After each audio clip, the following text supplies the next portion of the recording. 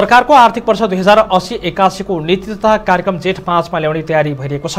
राष्ट्रपति रामचन्द्र पौडेलले संसदमा नीति तथा कार्यक्रम सम्बोधन गर्ने तयारी भएको छ। संविधानको धारा पन्चानब्बेमा सङ्घीय संसदका दुवै सदनमा सम्बोधन गरी राष्ट्रपतिले नीति तथा कार्यक्रम वाचन गर्ने उल्लेख रहेको छ।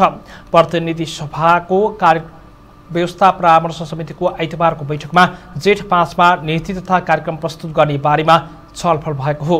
कानुन न्याय तथा संसदीय मामिला मन्त्री धनराज गुरुङले जेठ पाँचमा नीति तथा कार्यक्रम संसदमा प्रस्तुत गर्ने तयारी भइरहेको बताउनु भएको छ। काङ्ग्रेसका प्रमुख सचेतक रमेश लेखकले पनि कार्यव्यवस्था परामर्श समिति बैठकमा जेठ पाँचमा नीति तथा कार्यक्रम प्रस्तुत गर्ने भनी सफल भएको जानकारी दिनुभयो। यस्तै प्रधानमन्त्री पुष्पकमल दाहाल प्रचण्डले जेठ चार गते प्रतिनिधि सभा बैठकमा प्रश्नोत्तर गर्ने तयारी गर्नुभएको छ। आइतबार बसेको कार्यव्यवस्था परामर्श समितिको बैठकमा प्रधानमन्त्रीले प्रतिनिधि सभा बैठकमा गर्ने प्रश्नोत्तरको सम्बन्धमा छलफल भएको हो।